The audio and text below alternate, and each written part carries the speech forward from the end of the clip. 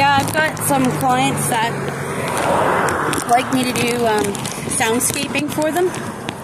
And I, I got to do one that was really cool when we were in St. Catharines. About four years ago, just before lockdown, we went to St. Catharines for the weekend. And that was really, I'm so glad we did that. That we gave Dan his gift. Yeah, that's right.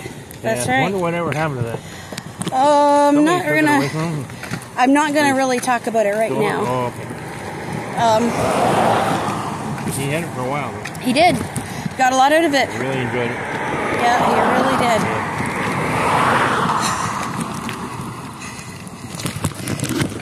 But anyway, so we were uh, we were there, and it was like I said, it was just before they shut everything down. I think it was wasn't even a couple of weeks, and they, I think it was um, the sixth that that weekend that we were down there, and it was the 14th that they shut everything down.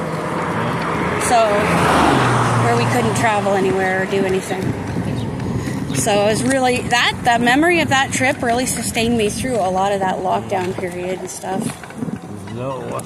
I love going up there. But anyway, so I was walking with we were walking with my brother and his family and um, we went across this bridge and I just put my recorder on just for the heck of it. And because I was I had that um, the flat walker but one thing about flat walkers is they're really great to get into vehicles with and stuff, but they're loud because they don't have any of the like Wow. rubber on them or. He picked this limo up. Ooh, like another limo. It's like the second two days, two limos.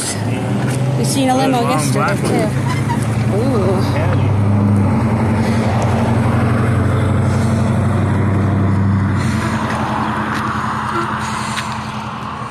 But I got to do a loop of uh, a long loop of the um, bridge sound, and the person really, really liked it, and I really enjoyed doing it too because I got to relive that over and over. So that was fun.